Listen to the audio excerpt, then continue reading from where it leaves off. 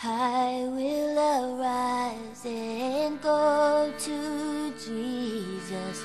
He will embrace me in his arms, in the arms of my dear Savior.